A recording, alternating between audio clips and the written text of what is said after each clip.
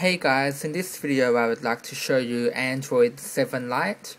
Um, it is the home screen which aims to make the software on your device look like you're running Windows 7. Um, I'm not a big fan of home screen launchers which try and make the software look like a Microsoft or an Apple product. However, I downloaded the um, home screen launcher out of curiosity just to take a look at it. Um, you know, see how bad it is pretty much. Um, the thing that I really dislike about the Lite version is that there were advertisements pretty much everywhere throughout the software.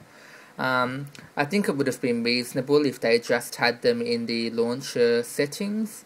However, the fact they have put them everywhere really turns me off even considering the Pro version. And the Pro version is um, more than $7, so I don't think I would buy it anyhow when there were better products out there for a lot cheaper. Um, so let's look at the start menu first. The start menu is um, very hard to open, you know, just by tapping it, you know, like you sort of have to aim a bit higher. I'm not sure if that is my um, touch screen or, you know, maybe my fingers are a bit too big, though I find it very hard to open. Uh, we have Restore Desktop at the top. I'm not sure what that does, so you need the Pro version for it. We have My Computer. Uh, that pretty much opens the root directory of your Android device.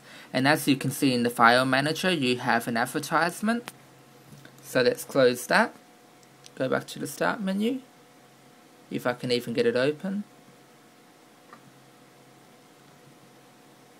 Uh, we have my documents uh, which um, takes you to your SD card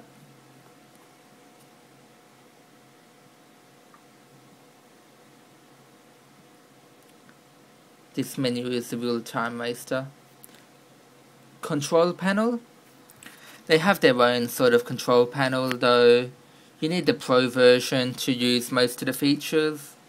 You know, display works, so just redirects you to, you know, the you know, default device display settings. You know, it's a feature that I wouldn't pay for. Uh, we have my storage, I'm not sure what that is, so you need the pro version and we have an internet ex oh wait sorry we have an internet explorer icon next to you know the web browser which is pretty ironic considering that most people do not use internet explorer. All the programs I really hate this menu. You scroll up and down you know it's okay it's a bit of a novelty. Though for everyday use you know what's the point? You have this whole big screen here you have all of this real estate, yet um, you have um, all of the um, applications in such a small box. Um, I don't see the point of it. They're trying to, you know, copy the classic Windows Start menu. Though, what's the point? They can copy um, the general theme of it. They don't copy the location of everything. You know, you have all of this screen, and you know the Windows Start menu isn't designed um, for touch devices, so it really annoys me how they have, you know, tried to copy the Windows menu and, you know, they've just made it very hard to do things. And, you know, you can search. I don't think that's the best location for a search bar, to be honest. Um, you know, and also, what else can I show you? Um, at the bottom here, you have all of your running tasks, which you can sort of um, scroll between. Uh, I don't believe that you can easily close them from here. Like if you hold down the icon, it won't come up with an option to close it. That may or may not be in the full version. I'm not, I'm not sure. Um, and in the bottom right hand corner, there's no notification bar at the top by default. So in the bottom right hand corner, I have my Wi-Fi indicator, you know, my battery status. Um, you have volume control, which is hard to open and you can set the volume if your fingers are small enough. It sounds a bit um, like Ubuntu, which is pretty funny. And you can open up a calendar, and if you click change date and time settings,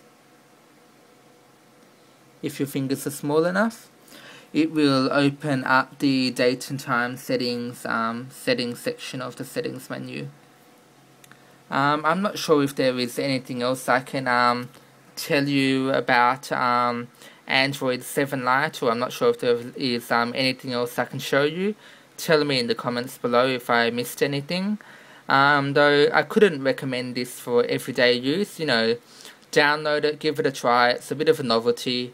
I would highly, you know, not recommend this for an everyday use, and you know, I couldn't recommend it at all. And you know, it's just not very productive to use. Everything is just so small and hard to touch and open. So, um, uh, yeah, download it, tell me what you think, and thanks for watching.